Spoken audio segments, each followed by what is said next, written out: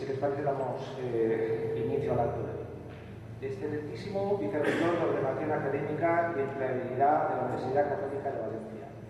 Eh, en este punto pido disculpas en nombre del director general de Industria, eh, el cual, debido a un acto, un imprevisto que tiene, se incorporará, pero hará más tarde.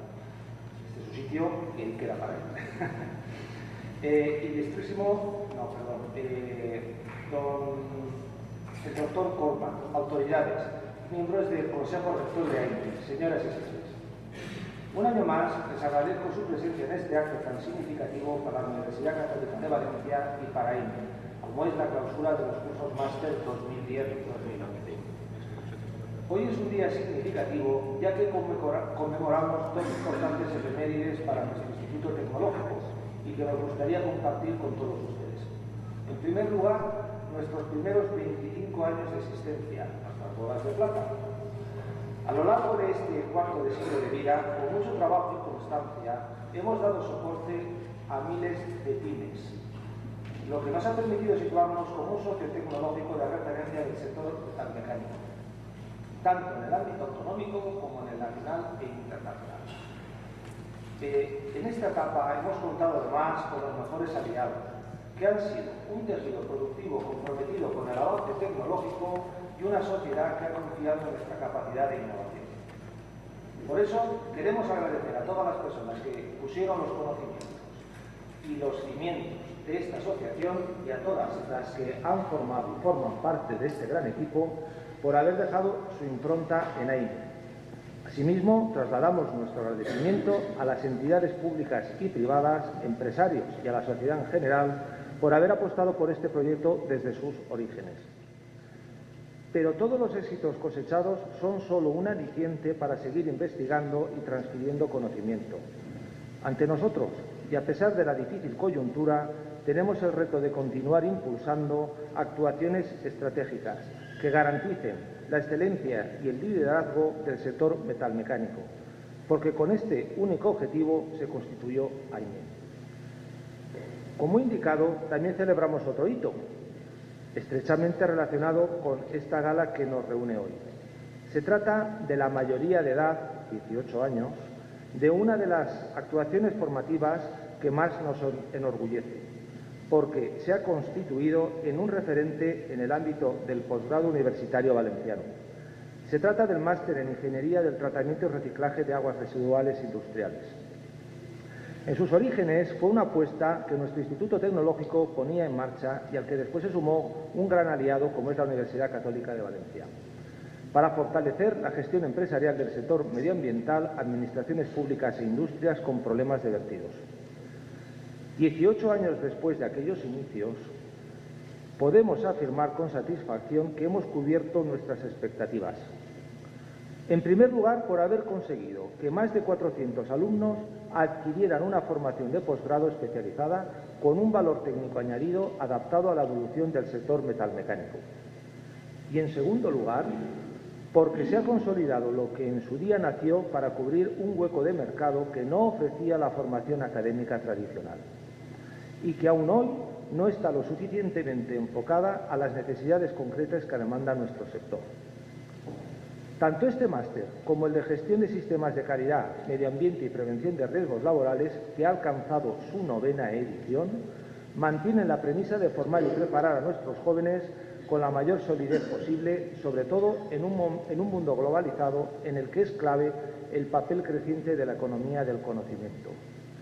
Por eso, desde aquí, trasladamos nuestro agradecimiento a todos, profesorado, empresas y entidades colaboradoras porque su implicación es la que hace posible que cada año celebremos con éxito esta gala institucional.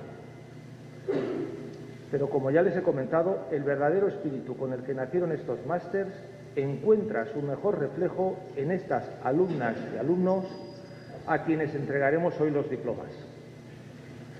Sois profesionales que os vais a enfrentar a una época de profundos cambios y transformaciones. Una difícil etapa en la que conviven las incertidumbres con las nuevas oportunidades y ante la que deberéis reaccionar con energía renovada, desterrando cualquier tentación de resignación o conformismo. Y en AIME no tenemos duda de vuestra capacidad para afrontar y superar los desafíos de esta nueva realidad. Hoy os cedemos el testigo al capital humano del mañana para que pongáis en práctica el conocimiento adquirido y os convirtáis en los protagonistas de la construcción de un entramado económico y social que distinga a nuestra comunidad valenciana. Sabéis también que en este recorrido no estaréis solos, porque todos tenemos el compromiso de recuperar los valores y principios sobre los que se sustenta el éxito de cualquier proyecto. Se dice con razón que las palabras conmueven, pero que solo el ejemplo arrastra voluntades. Por eso, desde AIME hacemos un llamamiento para, entre todos, impulsar el talento, buscar la excelencia, premiar el esfuerzo y el trabajo bien hecho y reconocer el mérito para valorar la capacidad de sacrificio. De nuevo, os damos nuestra más sincera enhorabuena porque hoy es vuestro día y el futuro también. A continuación, tengo el honor de dar paso a la lección magistral que el doctor Adelino Corma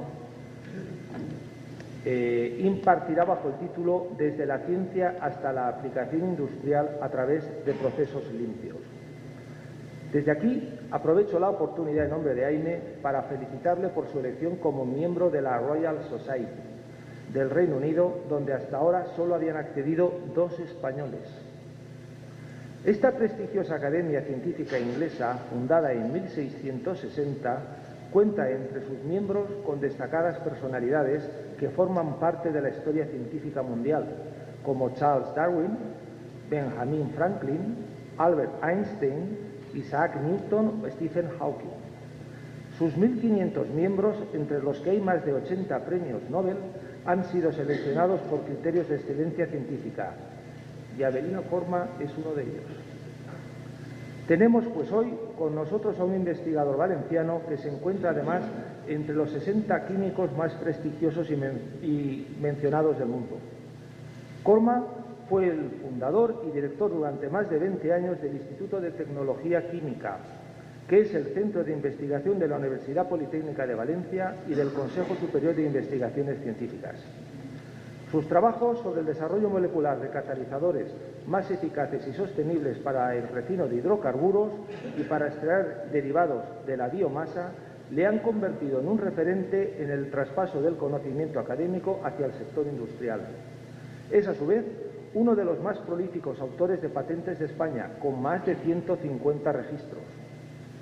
En 2011 descubrió un material cristalino con múltiples propiedades con potenciales aplicaciones industriales para obtener energías cada vez menos contaminantes.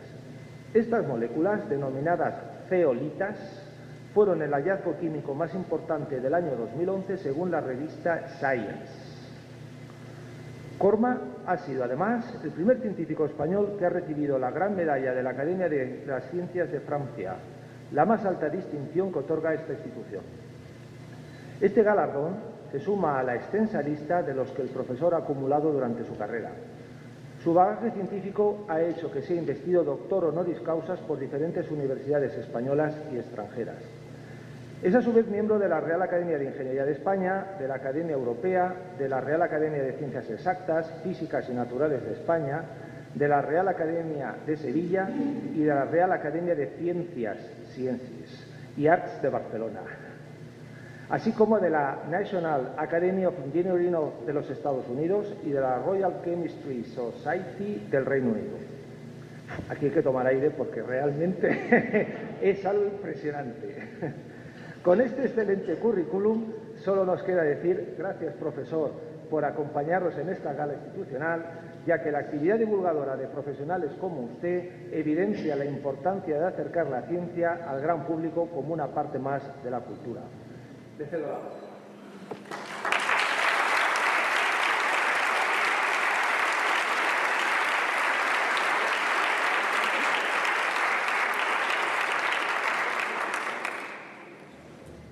Muchas gracias, presidente Daime.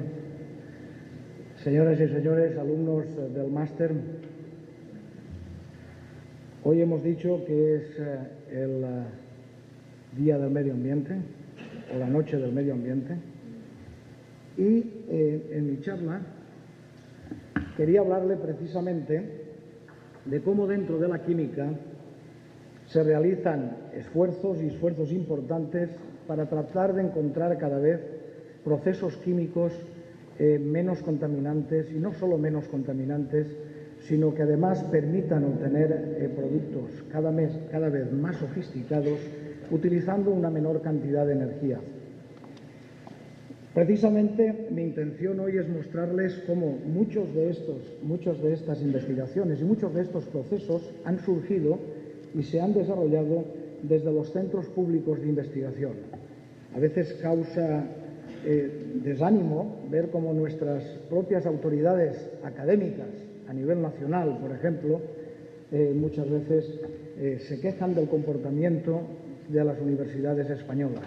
Las universidades españolas en estos momentos están haciendo una labor muy digna a nivel internacional, no solo desde el punto de vista de la formación de nuevas generaciones, sino también desde el punto de vista de la investigación, dados los medios de los que disponemos.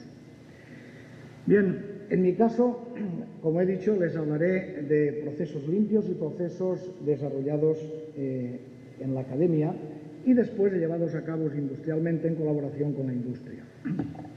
Al final, en cualquier proceso químico, lo que nosotros querríamos es utilizar de la mejor manera posible las materias primas, dirigiendo la reacción hacia el producto deseado y evitando la formación de subproductos. Este es el objetivo. Y a ser posible, llevar a cabo esto utilizando la mínima cantidad de energía. Pues bien, tenemos un modelo en la naturaleza que lo hace muy bien y eh, estos son los seres, los seres vivos. En los seres vivos, estas reacciones se llevan a cabo de manera tan selectiva hacia los productos deseados porque existen unos catalizadores que todos ustedes conocen, que son los enzimas, que son capaces de dirigir la reacción hacia el producto que se desea, evitando la formación de otros productos no deseados. Cuando uno profundiza en la naturaleza de estos catalizadores enzimáticos, de estos catalizadores naturales, observa que existe un centro activo que es donde nuestra molécula de reactivo va a interaccionar, se va a modificar y se va a transformar en el producto deseado.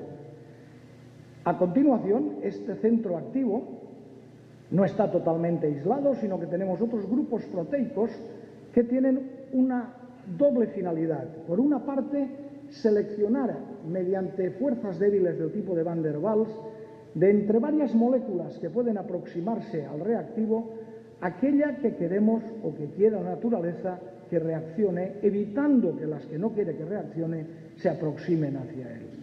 Pero además hará también a través de estos grupos que la absorción sobre este centro activo se lleve a cabo de la forma más adecuada para llevar a cabo de manera eficiente el proceso químico.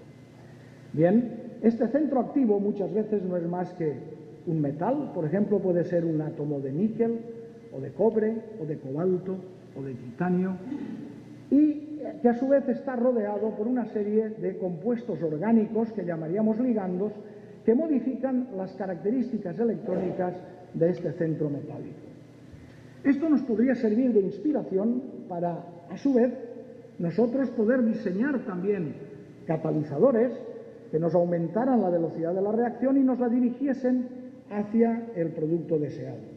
En el caso de las enzimas, ustedes saben que trabaja a temperatura eh, ambiente, a temperaturas bajas, a temperatura ambiente, pero hay muchos procesos en los que termodinámicamente estas reacciones no se pueden llevar a temperatura baja.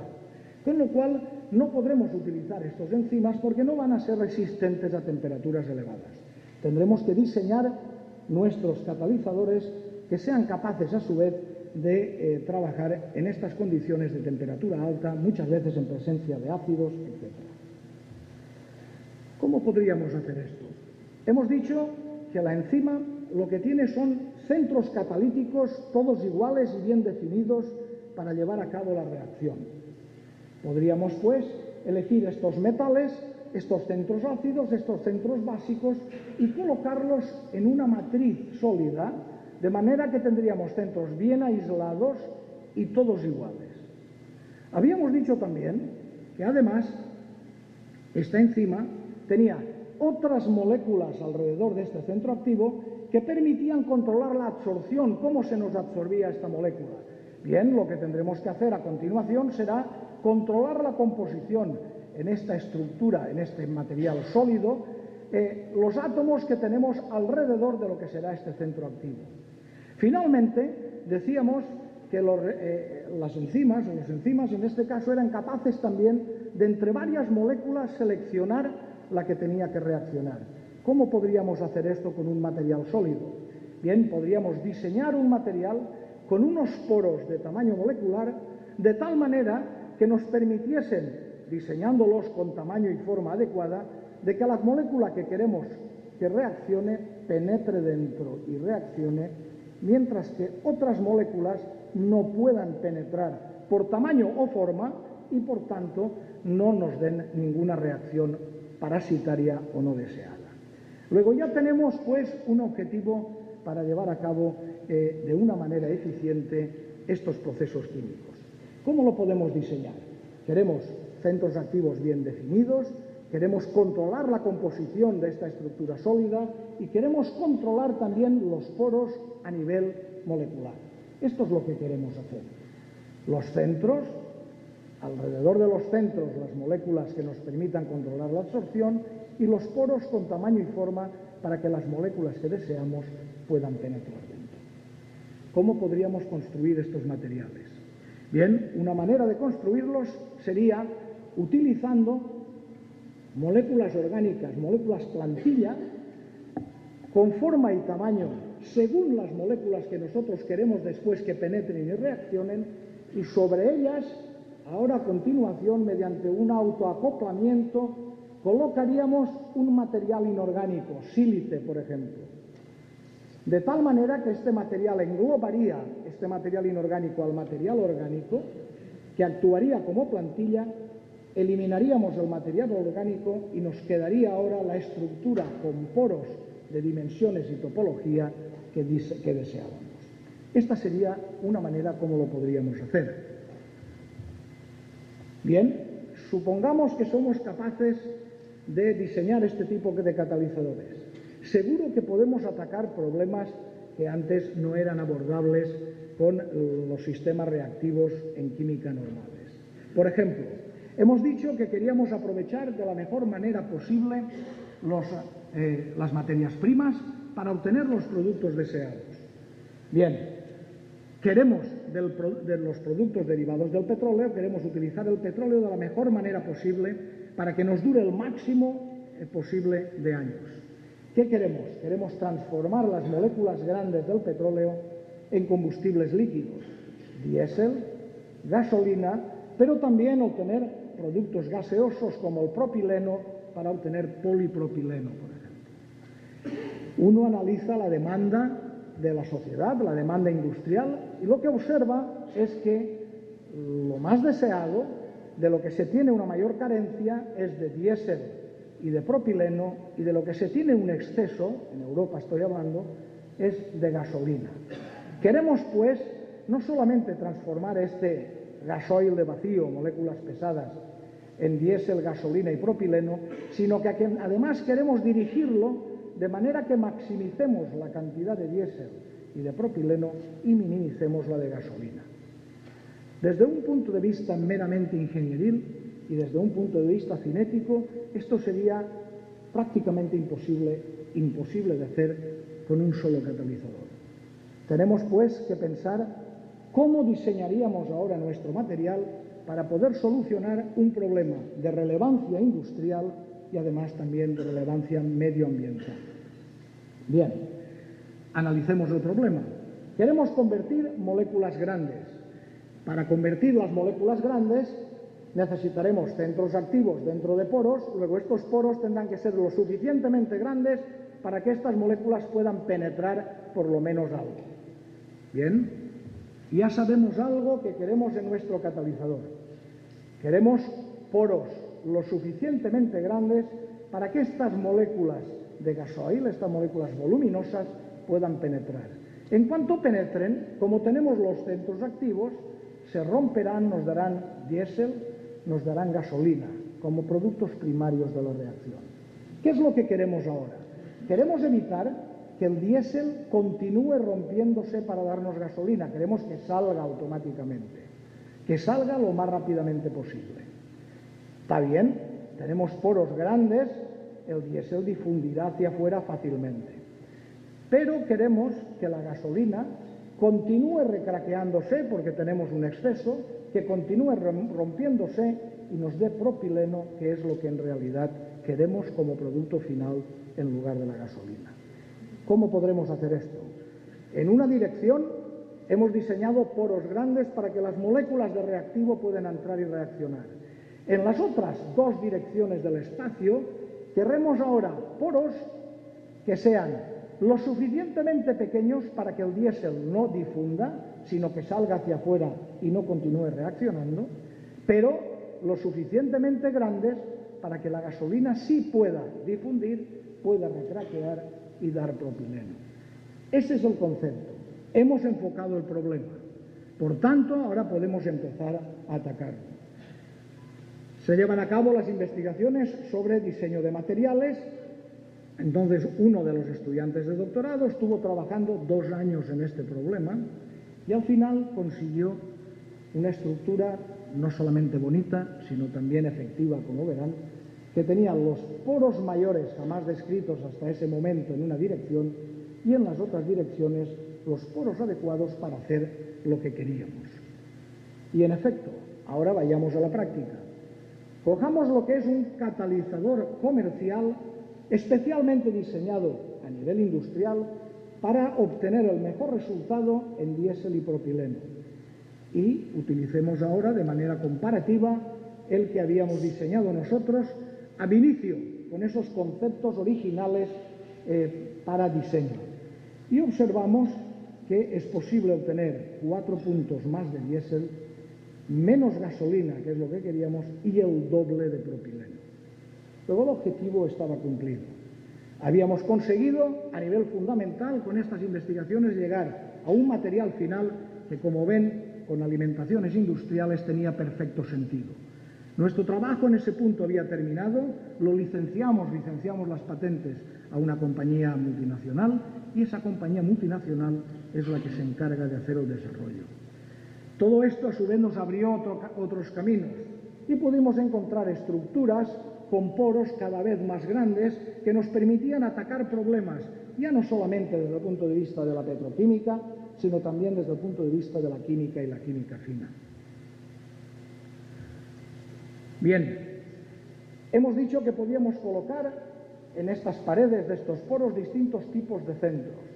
Hasta ahora, para la reacción que les había montado, mostrado, lo que incorporábamos era un centro ácido, un aluminio en este caso, que lleva como compensación un grupo hidroxilo, un aluminio, que nos permitía llevar a cabo esta reacción. Pero habiendo demostrado que podíamos eh, sintetizar estos materiales e introducir distintos átomos, podíamos aumentar las posibilidades de estos y atacar nuevas reacciones y reacciones que no se habían llevado a cabo anteriormente de una manera, como verán, eh, medioambientalmente benigna. Por ejemplo, un producto de mucho interés es la formación del óxido de propileno. Se utilizan miles y miles de toneladas en estos momentos. Bien, para esto podíamos utilizar como centros catalíticamente activos, por ejemplo, el titanio, y fuimos capaces en distintas estructuras de introducir en estas paredes, con estos poros, si ustedes ven, estos átomos de titanio. Y los probamos y vimos que efectivamente funcionaban para epoxidación. Conseguíamos formar el óxido propileno con selectividades excelentes. Y además, con un proceso global, que no voy a describirles, pero que al final el balance de materia global era propileno más aire para obtener óxido de propileno. Los resultados fueron positivos y esto se lo licenciamos a la compañía Sumitomo y en conjunto, en colaboración con ellos, desarrollamos el proceso hasta el final y en estos momentos existen más de, dos plantas en este, en este momento a nivel mundial, tratando miles, miles de toneladas. Pero para que vean que muchas veces la química, a pesar de lo mucho que ha avanzado, sigue todavía teniendo posibilidades claras de mejora. Le sonará seguro las lactonas para polímeros, para formar polímeros, epsilon caprolactona, un polímero. Bien, ¿cómo se obtiene en estos momentos? En estos momentos, cómo se obtiene es a partir de la ciclohexanona y los perácidos. Los perácidos, a su vez, se obtienen a partir de anhídrido acético con agua oxigenada para obtener el perácido y más ácido acético. Bien, los perácidos son materiales explosivos, no son materiales cómodos de trabajar, pues hoy en día seguimos trabajando de esta manera. De hecho, el proceso lleva tres etapas. Una primera etapa en donde se prepara eh, el ácido acético, el ácido acético pasa a anhídrido acético, una primera etapa. En una segunda etapa, el anhídrido acético con agua oxigenada nos da el perácido. Tenemos que reciclar eh, por cada uno de estos un mol de ácido acético. A continuación, con perácido y la acetona, formamos la lactona. Tres etapas con productos intermedios que desde luego no son amigables ni deseables desde el punto de vista medioambiental. Estarán de acuerdo conmigo que un proceso mucho más sencillo y práctico sería simplemente empezar de la acetona y mediante agua oxigenada obtener directamente la lactona. Los productos finales serían la lactona que queremos y agua. Esos serían todos los productos. Sin embargo, Cualquier químico orgánico que ustedes le digan si quieren llevar a cabo esta oxidación mediante el agua oxigenada les dirá que bueno, que tenemos pocas probabilidades porque en este caso el agua oxigenada no va a ser suficientemente nucleofílica para poder atacar a este carbono. Y ese era el problema y así es como estaban las cosas. En nuestro caso, pensamos atacar el problema de una manera diferente. Si queríamos trabajar con agua oxigenada, si no teníamos una densidad de carga eh, lo suficientemente elevada en este carbono, quizás pudiésemos diseñar un catalizador que nos polarizara este grupo carbonilo de tal manera que aumentara la densidad de carga en este carbono y ahora el agua oxigenada quizás fuera ya suficientemente nucleofílica eh, para atacar a este carbono, formar el intermedio de Krieg en este caso y llevar a cabo la reacción hasta el producto final. Esto no es sencillo. No es sencillo primero porque necesitan un centro catalíticamente activo que nos active la molécula, que permita su absorción, pero no la de los productos, por lo menos no lo suficientemente fuerte la de los productos, de lo contrario su catalizador se desactivará. Pero piensen en otro factor. Van a tener que hacer reaccionar ahora una molécula no muy polar con agua oxigenada en agua que es muy polar. Y tienen que hacer la reacción dentro de un poro. Si ustedes diseñan ahora un material muy polar, va a absorber preferentemente el agua, no va a absorber el otro material, la otra molécula menos polar. Con lo cual, la velocidad de la reacción no va a ser la óptima ni mucho menos. Y viceversa, si lo hacen más hidrófobo, va a absorber preferentemente esta y no la otra. Teníamos pues que diseñar un material con centros bien definidos con una polaridad adecuada y un tamaño de poro adecuado. Y eso es exactamente eh, lo que hicimos y al final, para que vean el tipo de selectividades que se puede lograr, las enzimas con las que hemos comenzado consiguen, por ejemplo, obtener la lactona, en este caso que hay otra reacción competitiva, con un 100% de selectividad. La tecnología existente únicamente les da 29% de selectividad. Pierden prácticamente un 70% de su reactivo en productos no deseados. Con un catalizador bien diseñado y con los centros adecuados, llegan a conversiones superiores al 95 con un 100% de selectividad, la misma que tienen las enzimas. Bien, eso está bien. Es interesante en sí mismo, pero también muestra nuevos caminos a desarrollar. Y este es un ejemplo más, yo diría, más tangible de química fina. Quieren sintetizar una fragancia, una fragancia melonal, que como ven es una fragancia a melón, por ejemplo, y que se encuentra en muchas de las fragancias que utilizamos. ¿Cómo se obtiene esto industrialmente? Esto se obtiene industrialmente, lo obtiene una compañía japonesa, de tal manera que lleva a cabo tres pasos de reacción. Fíjense que en un primer paso de reacción por cada molécula de intermedio generan como su producto una molécula de ácido clorhídrico. ¿Qué tienen que hacer en esta etapa? Tienen que neutralizar ese ácido clorhídrico, separar, purificar y pasar a una segunda etapa, que ahora la tendrán que llevar a cabo en medio básico. Una vez terminada esta etapa, tendrán que neutralizar, purificar y separar. Fíjense el número de etapas para llegar hasta el producto final. Sin embargo, si tenemos un catalizador como los que decíamos antes, podemos partir también de otro reactivo bulk y en una sola etapa, en una sola etapa llegar al producto final. Son dos etapas que se realizan en cascada, una a continuación de la otra.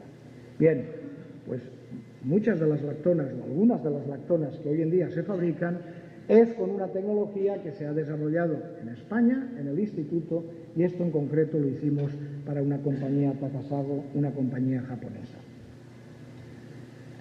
Les voy a mostrar otro ejemplo eh, para que vean también la importancia de la catálisis en el medio ambiente.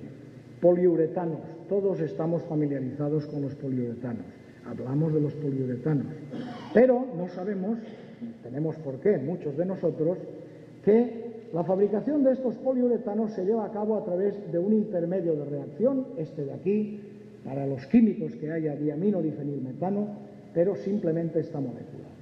¿Cómo se lleva, cómo se sintetiza y cómo se prepara industrialmente? Estamos hablando de muchos miles de toneladas. ¿Cómo se prepara comercialmente? Se prepara de la misma manera como se preparaba hace 60 años. Se coge anilina, formaldehído, se coloca en tanques agitados en donde se coloca una disolución de ácido clorhídrico en agua. 10% del reactor es una disolución de ácido clorhídrico en agua. Imaginen que cada uno de estos baches de reacción que hacen, a continuación tienen que separar, neutralizar, eh, eliminar los residuos que están formando y estamos hablando de muchos miles de toneladas. Lo ideal en estos casos sería no utilizar, no utilizar este ácido clorhídrico en agua, sería utilizar un catalizador sólido ácido en el que pasáramos nuestros reactivos y lo único que tuviéramos que hacer es al final destilar. No tendríamos generación de ácidos ni neutralizar, no tendríamos que hacer todo esto. ¿Cómo podríamos hacer esto? Bueno, cuando uno acude a la bibliografía de patentes encuentra que, por supuesto, muchas empresas ya han pensado en esto, que han patentado muchos catalizadores sólidos, ácidos sólidos, pero sin embargo ninguno de ellos se está aplicando comercialmente. ¿Y por qué no se está aplicando comercialmente? Pues no se aplica comercialmente porque la vida de este catalizador es muy corta. Es decir, las toneladas que pueden, eh, que pueden, que pueden generar de producto por tonelada de catalizador es baja. Ahí estaba el desafío. ¿Y por qué sucedía esto? Sucedía esto porque esta molécula que nosotros formamos como intermedio rellena los poros, obtura los poros de ese sólido y se acabó, envenena, no pueden pasar más moléculas, lo cierra, envenena esos poros y se acabó. ¿Qué tendríamos que hacer? Tendríamos que cambiar de concepto. Tendríamos que diseñar un catalizador que en realidad no tuviera estos poros, sino simplemente copas abiertas al exterior.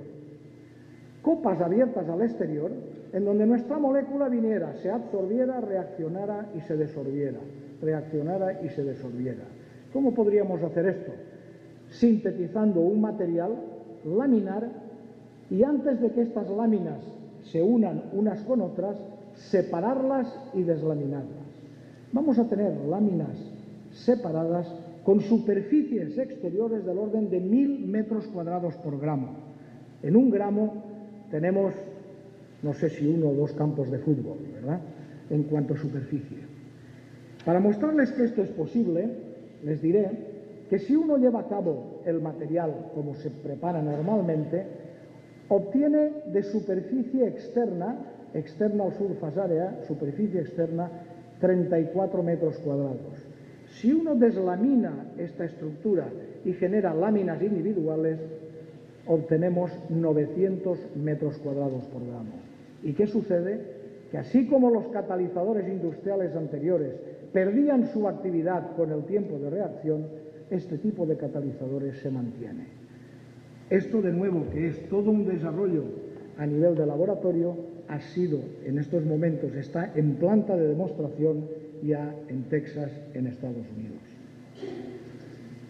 Termino esta parte con un ejemplo eh, desde el punto de vista de la purificación. Saben que el azufre es un problema grave, es un problema grave en nuestras gasolinas, es un problema grave en el gas natural y es un problema grave cuando se quiere transformar el gas natural en hidrógeno. Hay que eliminar este azufre en el gas natural, pero hay que eliminarlo a cantidades menores de 10 partes por billón. Eliminarlo a 20 partes por millón no es difícil. Existen tecnologías y se lleva a cabo. Si quieren eliminarlo a menos de 10 partes por billón, ahí sí hay un problema. Se necesitan, de hecho, reactores triples con tres lechos catalíticos, tremendamente costosos, y así todos los resultados no son satisfactorios. Una multinacional inglesa se aproximó a nosotros y nos preguntó si éramos capaces de encontrar una alternativa eh, o solucionar, si ustedes quieren, el problema actual. La respuesta fue que podíamos intentarlo. Y eso es lo que hicimos. ¿Y qué hicimos? Al final lo que queríamos era un único lecho catalítico, un único catalizador que nos hiciera todas las funciones para lo cual se necesitaban en estos momentos tres lechos catalíticos. Diseñamos una serie de materiales en los que introdujimos no un centro activo, como yo les decía antes, sino tres centros activos en la misma estructura. Con lo cual ahora podíamos llevar a cabo estas tres etapas para las cuales antes se necesitaban tres lechos catalíticos solamente en uno. Esto conlleva una economía de proceso muy elevada. Bien, esto de nuevo que empezó en el laboratorio, la primera planta comercial con la tecnología ITQ salió en 2008 y en estos momentos existe ya un número considerable, como ven, de plantas aplicándose. Voy a terminar porque no quiero cansarles mostrando un último ejemplo de eh, cómo efectivamente a través de este diseño de catalizadores podemos cambiar completamente los procesos químicos actuales transformándolos en eh, procesos químicos, como decía antes, eh, mucho más amigables desde el punto de vista medioambiental.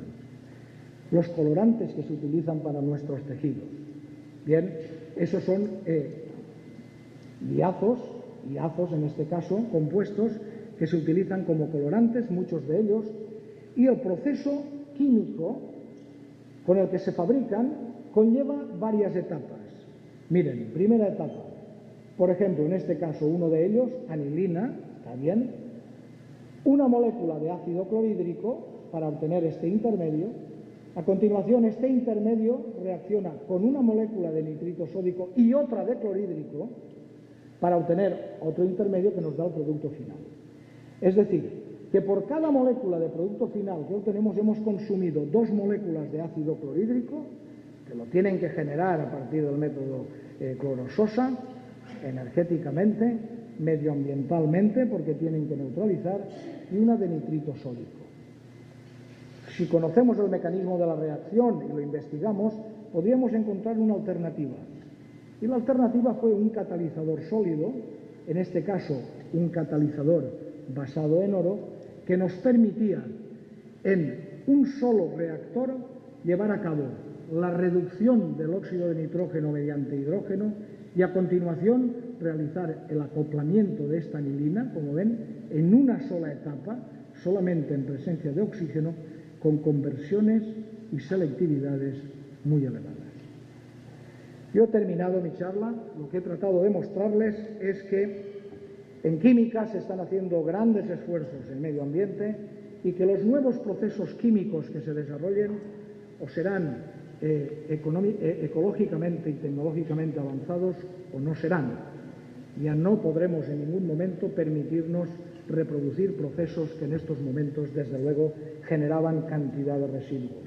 Han visto cómo, a través de la catálisis, es posible, mediante un diseño molecular, llegar, llevar a cabo la construcción de catalizadores no ya con una función, sino con muchas funciones, que pueden incluir desde centros híbridos orgánicos e inorgánicos, enzimas, centros ácidos, bases, redox, todos ellos construidos nos permiten llevar a cabo de manera selectiva y en un solo reactor procesos que son multietapas. Nada más agradecer a todos los que han participado y han trabajado en estos proyectos y en estos resultados, felicitar a los que se gradúan hoy y a los que van a recibir su título de máster. Muchas felicidades, ánimo en vuestro nuevo cometido y a todos los asistentes agradecerles su atención.